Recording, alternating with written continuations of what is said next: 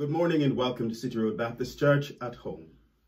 Today is a very significant day in the life of the Christian church. We celebrate Pentecost, the day in which the Holy Spirit came and made his dwelling among us. The disciples were all together. They were in one place. They were reflecting. Jesus had commanded them, stay here until you receive power from on high. You see, without the Holy Spirit, we cannot live the Christian life. So as we celebrate the coming of the Spirit among us, Jesus said, I will not leave you comfortless, but I will send you the Comforter, and he's here. He's here this morning.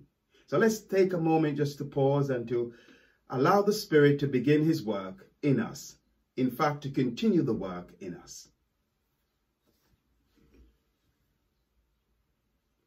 Join with us as we sing a couple of songs this morning. We're going to begin by singing Welcome, Holy Spirit. Welcome, Holy Spirit. We are in your presence. Fill us with your power. Live inside of me. Welcome, Holy Spirit. We are in your presence. Fill us with your power. Live inside of me. You're the living water, never dying fountain Comforter and counselor, take complete control. Welcome, Holy Spirit. We are in your presence. Fill us with your power. Live inside of me. My soul says yes, says yes, says yes, says yes. My soul says yes, says yes to your will. My soul says yes, says yes, says yes, says yes. My soul says yes, says yes, says yes to your will. Where you lead me, I will follow.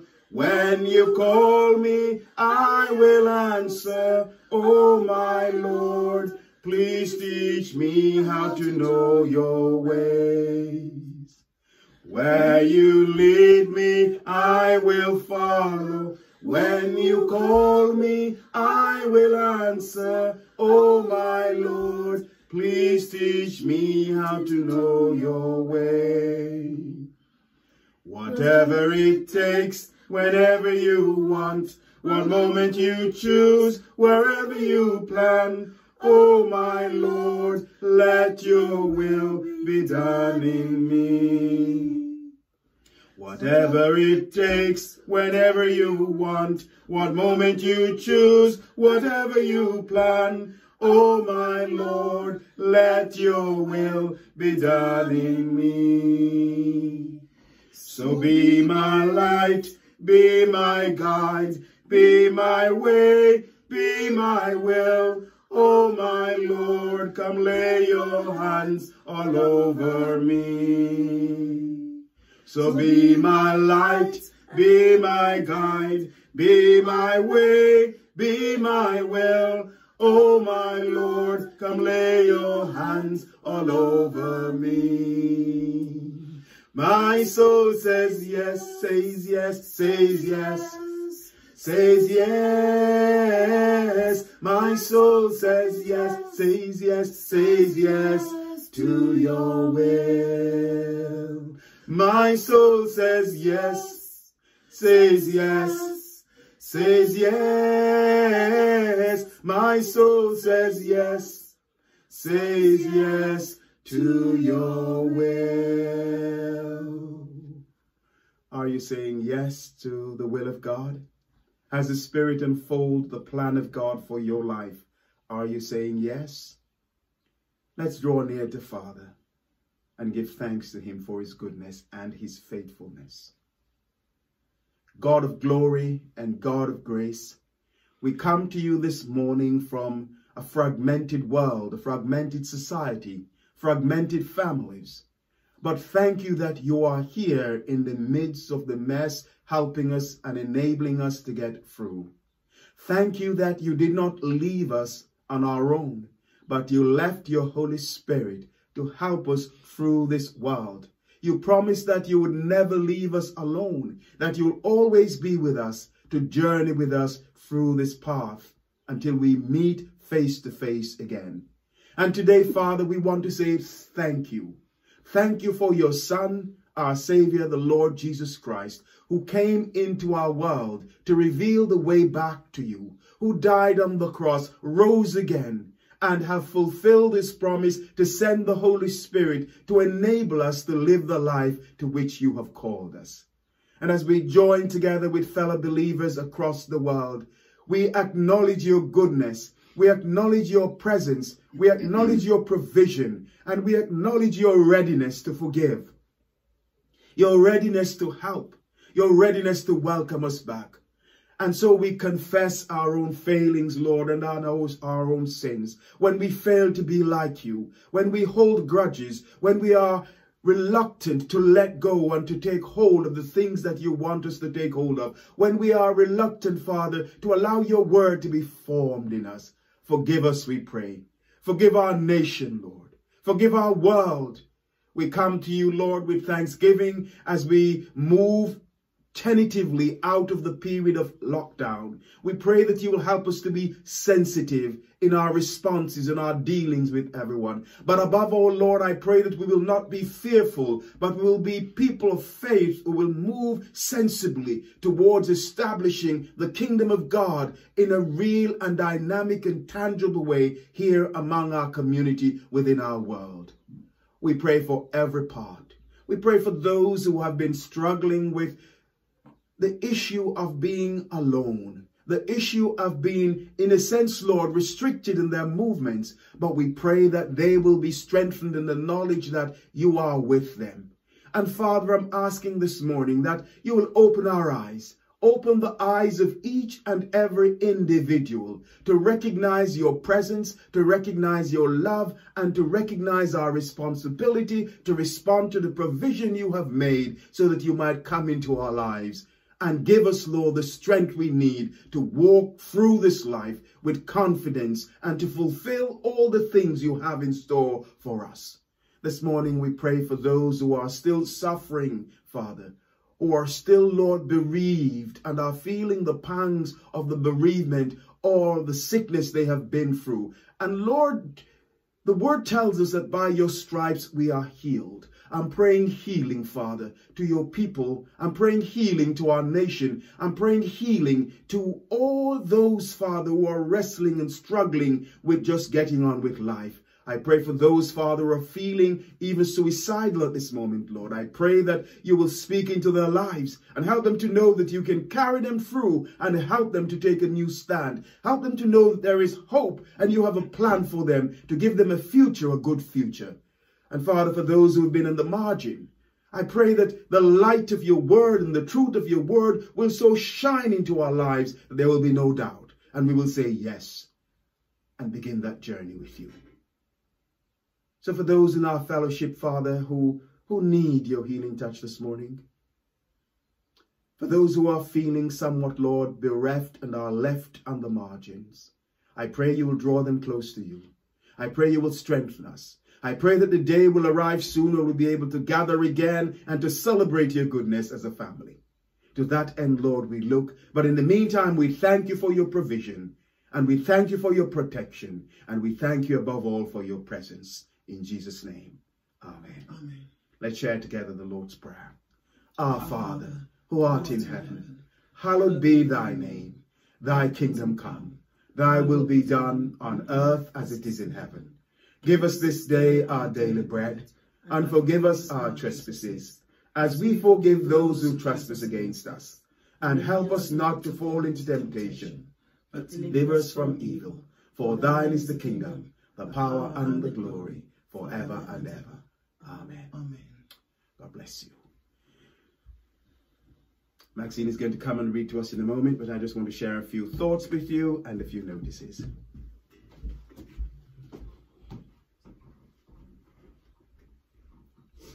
How have you been spending your time? How have you been using this excess amount of time?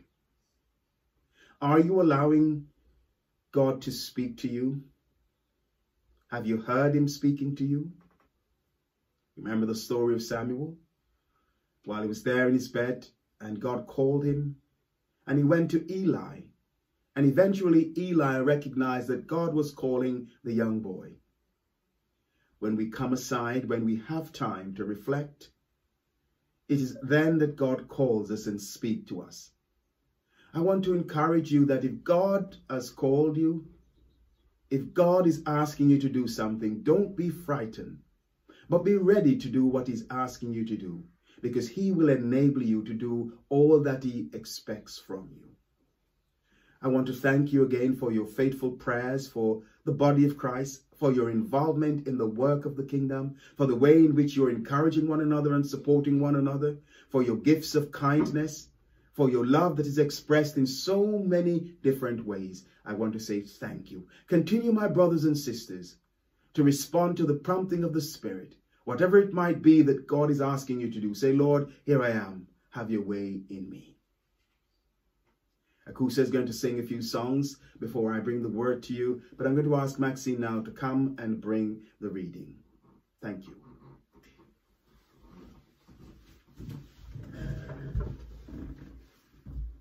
Good morning. God bless you today and always. Our reading this morning is taken from Romans chapter 8, and I read from verses 1 to 17. I read from the New International Version. The chapter is entitled Life Through the Spirit. Therefore, there is now no condemnation for those who are in Christ Jesus, because through Christ Jesus, the law of the Spirit, who gives life, has set you free from the law of sin and death. For the law was powerless to do it because it was weakened by the flesh. But God did it by sending his own Son to be the likeness of sinful flesh, to be a sin offering. And so he condemned sin in the flesh, in order that the righteous requirement of the law might be fully met in us, who do not live according to the flesh, but according to the Spirit. Those who live according to the flesh have their minds set on flesh desires. But those who live in accordance with the Spirit have their minds set on what the Spirit desires. The mind governed by the flesh is death, but the mind governed by the Spirit is life and peace. The mind governed by the flesh is hostile to God. It does not submit to God's laws, nor can it do so. Those who are in the realm of the flesh cannot please God. However, you who are not in the realm of the flesh, but are in the realm of the Spirit, if indeed the Spirit of God lives in you. And if you, if anyone does not have the Spirit of Christ, they do not belong to Christ. But if Christ is in you, then even though your body is subject to death because of sin, the Spirit gives life because of righteousness.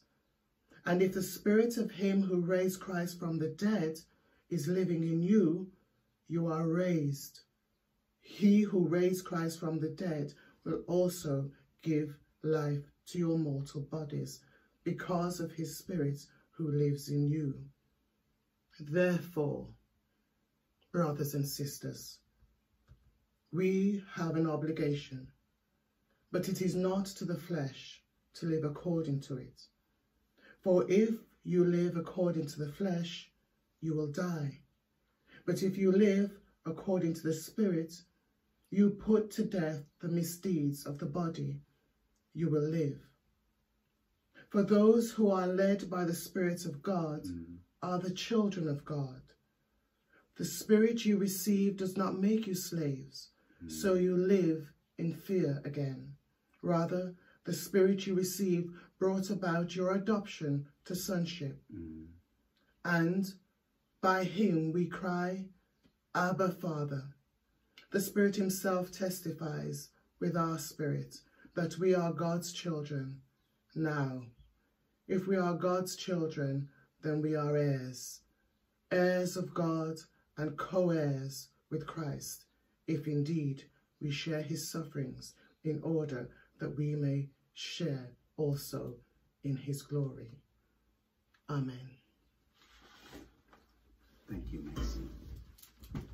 Praise the Lord. Please join me as we sing some songs of worship to our Most High God. Amen. Jesus, we believe in you. Jesus, we belong to you. You are the reason why we live, reason why we breathe. Jesus, we belong to you. Jesus, we belong to you. You're the reason why we live, the reason why we breathe.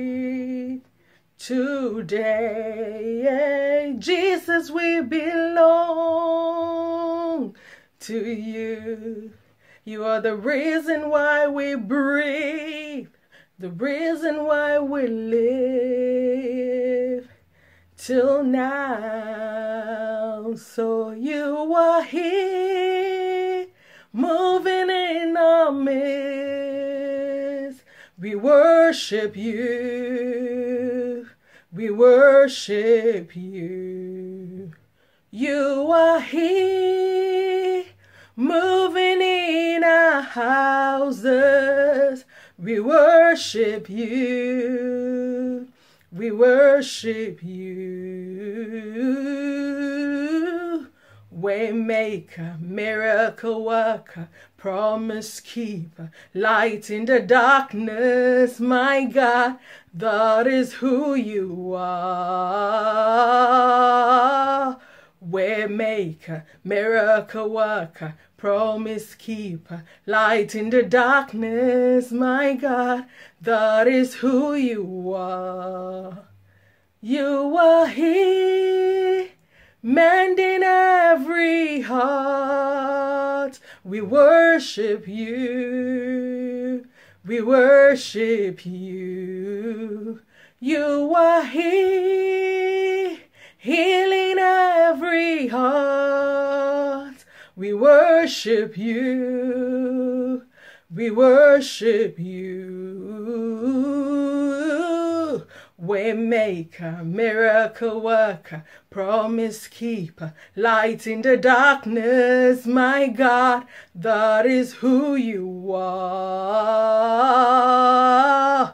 Waymaker, miracle worker, promise keeper, light in the darkness, my God, that is who you are. Let's sing again.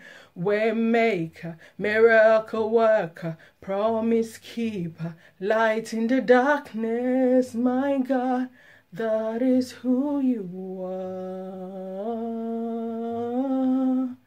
Jehovah Jireh, our provider.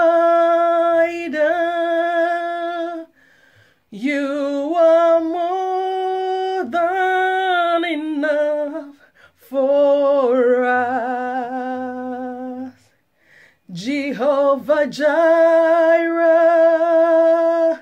our provider. You are more than enough for us. Jehovah Shammah, you are with us. You supply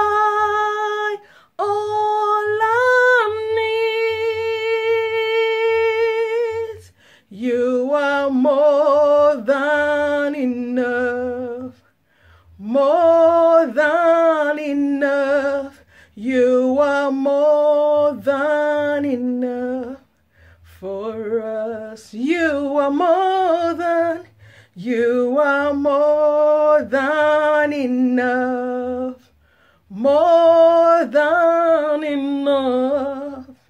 You are more than enough for us. Amen. Thank you, Akusa. Let's turn now in our Bibles to Romans chapter 8. And let's think for a moment of the freedom that is ours. And not only the freedom that is ours, but let's think about the resources that God has provided for us through his Spirit. Today is indeed a day of celebration and thanksgiving. A day when fear is banished and faith should arise. Why? Because we are no longer, as it were, slaves. We are no longer under the scheme of the enemy, but God has empowered us to go forward in the name of Jesus. As Maxine has said, the theme entitles Life Through the Spirit. It begins by making a bold statement. Therefore, there is now no condemnation for those who are in Christ Jesus. Let's think around that for a moment. What is condemnation? You may have committed a crime. You've been found guilty and you've been sentenced for the crime you have committed. Depending on where you live will determine the sentence you receive. There are those people who will receive, maybe when they say life, it may mean 15 years. But there are those, when it say life, it means life. There are those who will be sentenced, spend the rest of their days in prison. Our world.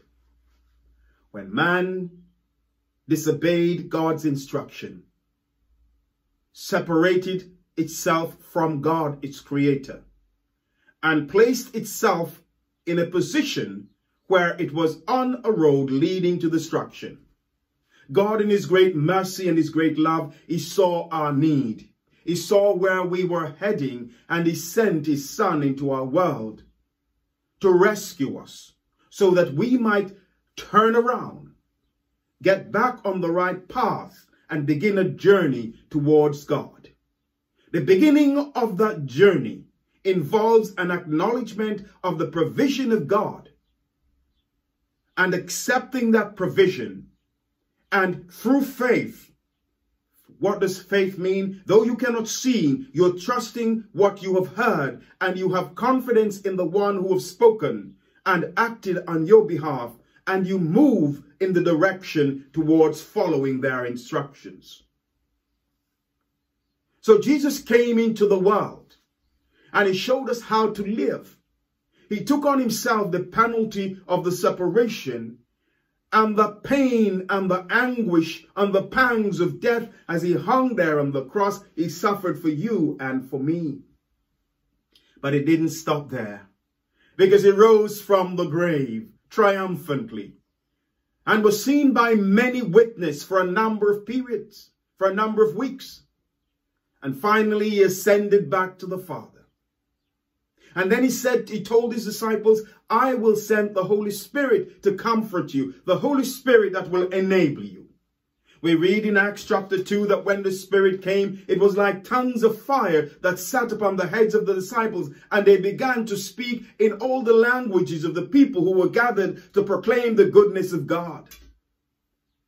And so today, as we celebrate Pentecost, I want to tell you that God loves you. I want to tell you that the Jesus that the world tried to quash, he's alive today.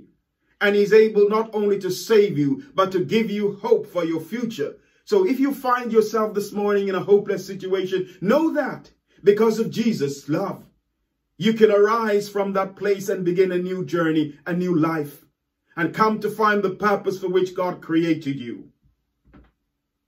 Whatever you may have done that brought you to the place where you are feeling dejected, that no good can come from your life.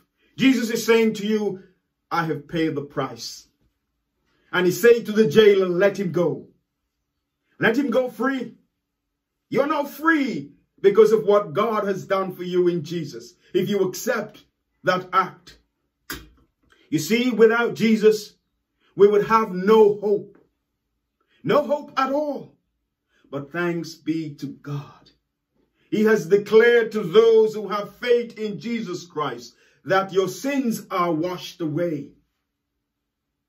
And now you are a child of God. Your sins are forgiven. The price has been paid for your sins. And now I put my spirit in you as a deposit, as a sign that you belong to me. That I will return one day and take you to myself. The opportunity to grow and to become a child of God.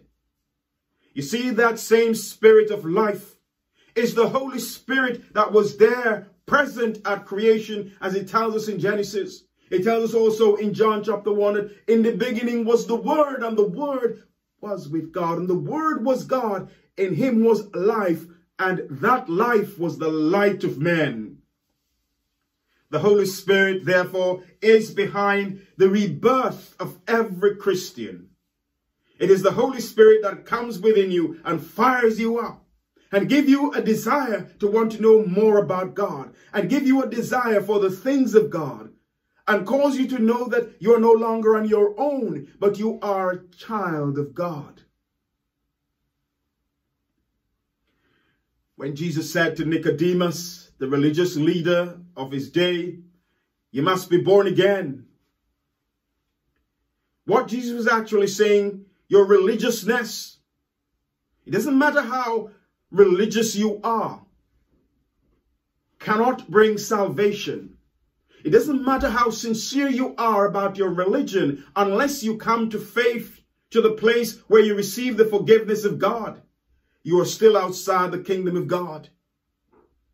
Because that which God gives, the forgiveness and the salvation, is not for sale. It is not based upon you being good enough. All that it is, is that you are prepared to accept this forgiveness that he brings. He brings through the Holy Spirit. The Holy Spirit then comes into our life. So when Jesus said to Nicodemus, you must be born again, Nicodemus says, well, how can this be? I'm a grown man. How can I change? How can I, what he said, entered my mother's womb for the second time to be born again? And Jesus responds, you must be born of the water. That speaks of the cleansing that he brings. You must be born of the spirit that generates life and the blood that pays for all your sins. The shed blood of the Lamb of God that paid for the sin of humanity and brings us back into a new relationship the hymn writer says, and can it be that I should gain an interest in the Saviour's blood? Died he for me who caused this pain? Yes, he died for you. That is the love of God. That is the love of God that brings a life to every human being. The Holy Spirit gives us the power and the ability we need to live the Christian life. In John 1 again, he says, he came to his very own, but his own did not receive him. However, to as many as received them, he gave the right, the ability to become children of God. Are you growing up as a child of God or are you still in the infant state? Are you taking God at his word and stepping out in faith? This morning he says the Holy Spirit gives power. There are those of us who feel that the Holy Spirit possesses or controls us. Let me say to you, the Holy Spirit does no such thing. The Holy Spirit indwells within us and enables us to become the child of God. It is the power of God to act in faith. Is the power of God for change. Is the power of God to love. It doesn't possess you. It doesn't move you around like a rag doll. But it enables you to move in sincerity and in truth. It gives you the ability to understand the word of God, to perceive your situation, to live in the midst of difficulties. That's what the Holy Spirit does. It keeps that hope alive that God's words are true and he is faithful and he will carry you through. It gives you the right perspective on life and situation so that the things that you see around you, you come to realize that they are not the things that imparts true life, but it is knowing God, knowing you, knowing Jesus Christ. It is the truth of life. It is the nectar of life. Now, when you come to know the love of God and the power of God, you may say, though I have nothing, I have everything. And though it seemingly I have everything, that means nothing. All that means is to, as the, the psalmist says, one thing I desire is to dwell in the presence of God. To dwell there in the presence of God. The writer in verse 5 identifies two categories here. Verse 5 tells us about those who live according to the flesh. How are you living your life today? There are those who have taken an initial step of faith, but they revert back to their old pattern of being, believing that they have to take control of their lives rather than allowing the Spirit to guide them and to lead them and to take them into a place of liberty. There are those who are still carrying the baggages that God had forgiven you of. He has cleansed you and removed the old baggage, and yet you pick them up. You carry the baggage of unforgiveness. You carry the baggage of hatred. You carry the baggage of feeling as though you are nothing. Those, my brothers, my sisters, are of the past. And you need to take hold and clothe yourself. Clothe yourself with the armor of God. As it tells us in, in Philippians, that we must clothe ourselves with the whole armor of God. Ephesians, um, Philippians 6, verse 10. Clothe ourselves, put it on, so we know who we are. The, further on here, the writer says, we're no longer slaves. We're no longer slaves. I go right to the end of the chapter where it tells us that we are no longer slaves. Where does it say this? In verse 15, the spirit you receive does not make you slaves so that you live in fear again. Rather, the spirit you receive brought about your adoption as a child of God. The spirit you receive brought about your adoption as a child of God and by him we say, Daddy. We cry, Abba, Father. The Spirit himself testifies with our spirits that we are God's children. If the Spirit of Christ that raised, if the Spirit of God that raised Christ from the dead is living within you, then be assured that you are then a child of God. So as I go back to the mindset are you still living in the realm of the flesh or are you being transported to live within the realm of the spirit? It says those who live according to the flesh have their minds set. They have a mindset that is set on the things of this world.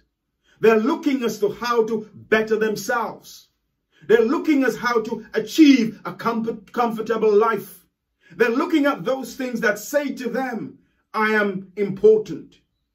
My brothers, my sisters, there is absolutely nothing wrong with material things. The problem is when we allow material things to become our master and we are striving after them, believing that possessing those things makes us someone. You have to leave those things behind. If you have your mind set on those things, you cannot please God you cannot please God. It tells us that those who have our minds, but those who live in accordance with the Spirit, they have their minds set on what the Spirit desires. What does the Spirit of God desire for you today? What does the Spirit of God desire for you this morning?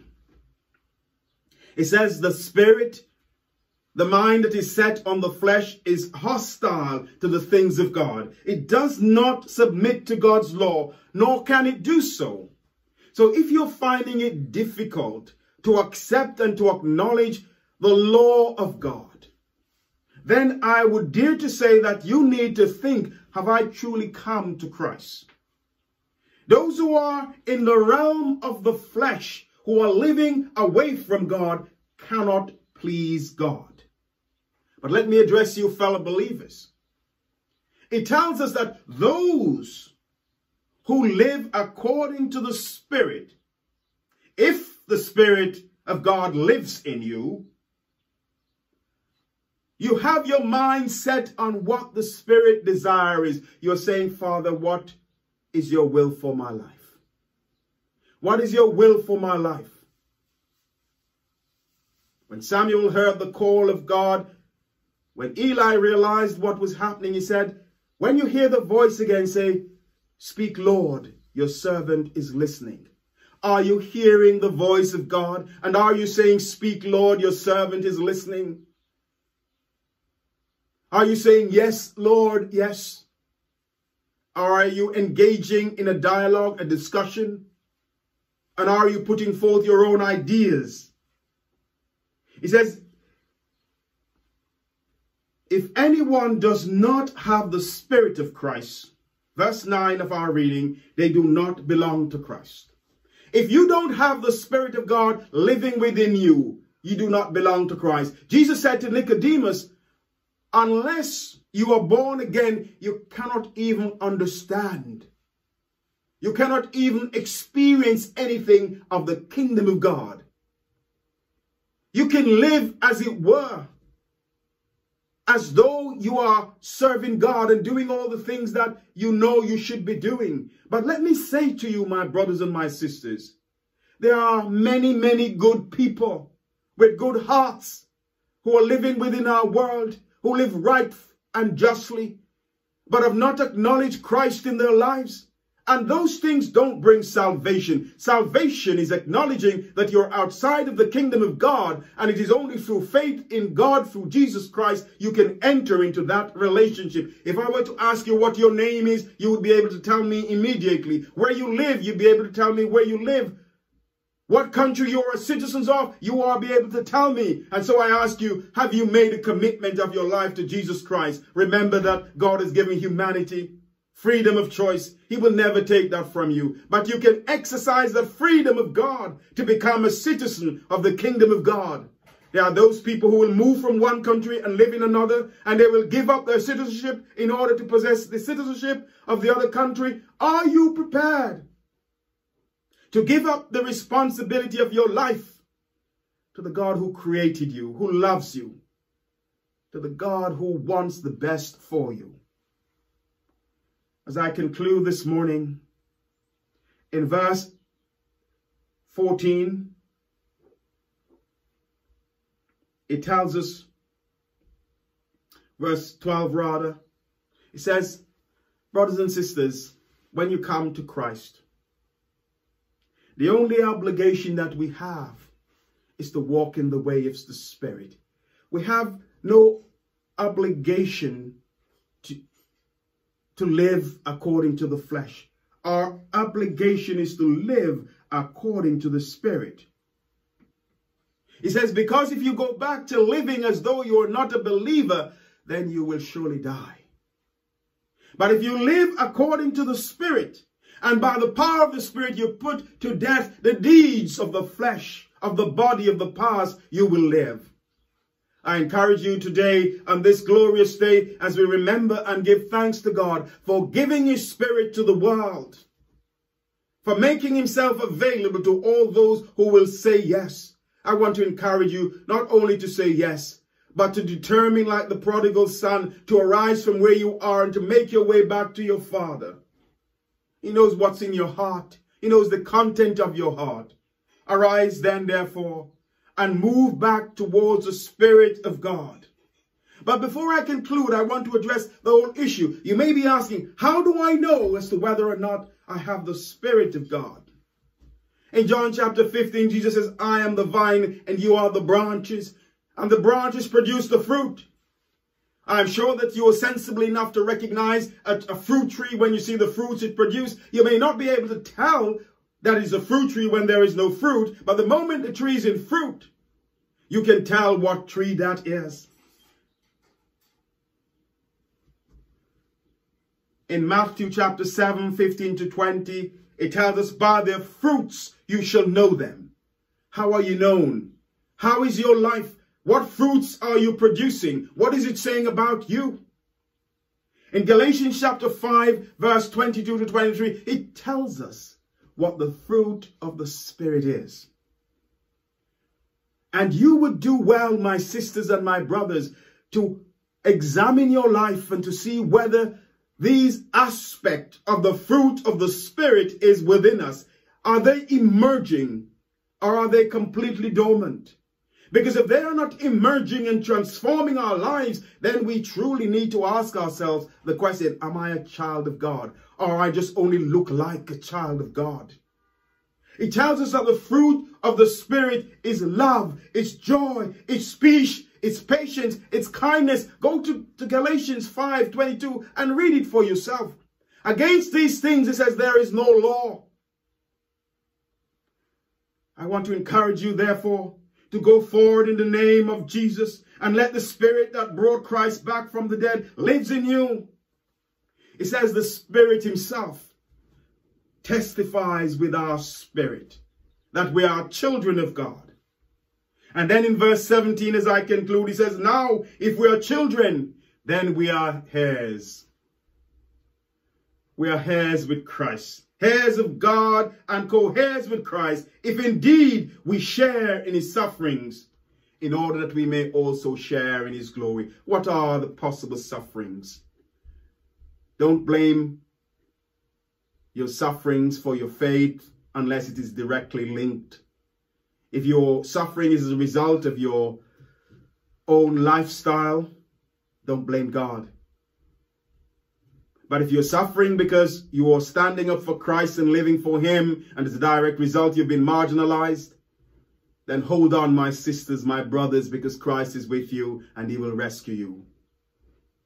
I pray that God will take his word and place it in our heart and help us to realize what the Spirit is, who the Spirit is, the Spirit that brings comfort and hope, who reveals the will of God, who enables us to communicate with our Father, that we will know that without the Spirit we are dead indeed. And unless the fruit of the Spirit is evident within our lives, we can say whatever we want. Let the fruit speak this morning that you're a child of God. Amen. I pray that God will not only take his word and bless you, but he will place it in your heart and there he will fill you with his hope and his joy. Father, I pray your blessing upon each one, that those who have heard your word, that they will know that you love with an everlasting love. And maybe today is the day when they need to be born again, to receive the forgiveness that you brings, to ask and invite you into their lives, so that they will know the power of the risen Lord. For Christ's sake. Amen. As we conclude this morning, we're going to sing together that beautiful song, and as we sing this together this morning, I'm praying that you will not only hear it, but you will respond to it and you will experience the blessing that come from Jesus Christ. Let your living water flow over my soul. As Maxine and Josephine join me, let's join together and sing this song. Let your living water flow over my soul. Let your Holy Spirit come and take control of every situation that has troubled my mind. All my cares and burdens unto you I roll. Jesus, Jesus, Jesus. Jesus. Father, Father, Father, Holy Spirit, Spirit, Spirit, Spirit. Now, Holy Spirit, and take control. Hold me in your loving arms and make me whole. Wipe away all doubt and fear and take my pride. Draw me to your love and keep me by your side. Jesus, Jesus, Jesus. Father, Father, Father, Holy Spirit, Spirit, Spirit, Spirit. Give your life to Jesus, let him fill your soul. Let him take you in his arms and make you whole. As you give your life to him, he'll set you free. You will live and reign with him eternally. Jesus, Jesus, Jesus, Holy Father, Father, Father,